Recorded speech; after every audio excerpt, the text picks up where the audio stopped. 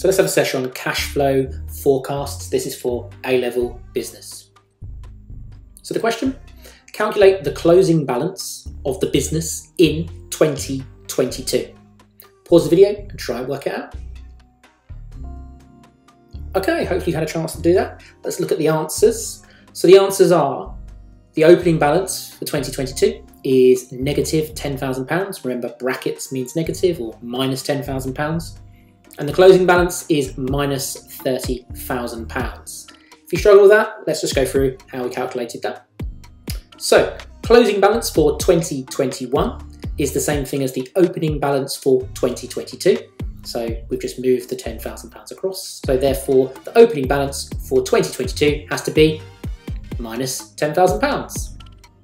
The next thing is we need to work out the net cash flow for 2022. So we need to compare those inflows and outflows. They had £90,000 coming in to the business, inflows, but there were cash outflows, so money going out of more than that, £110,000. We can see the difference between those is minus or negative £20,000.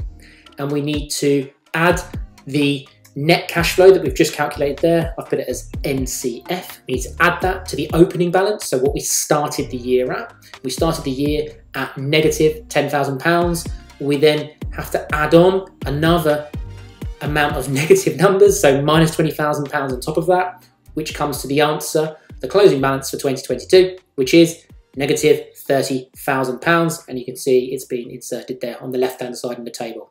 I'll see you at the next session.